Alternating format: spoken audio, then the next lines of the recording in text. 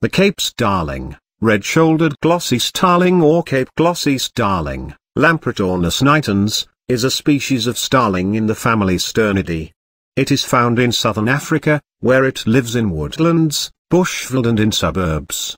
The Cape starling has an adult length of about 25 centimeters, 10 in, and weight of about 100 grams, 3.5 ounces. The plumage is a fairly uniform bright, glossy color.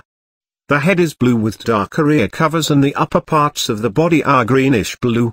It has a lengthy warbling song which may ink the Cape starling is found in the southern part of Africa. Its range encompasses the extreme south of Gabon, the west and south of Angola, the extreme south of Zambia, the southern half of Zimbabwe, Namibia, Botswana, Lesotho and South Africa. It is a vagrant to the Republic of the Congo but does not breed there.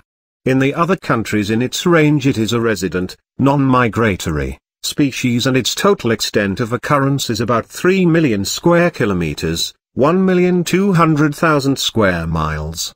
The Cape starling is found where trees in which it can roost and nest are found.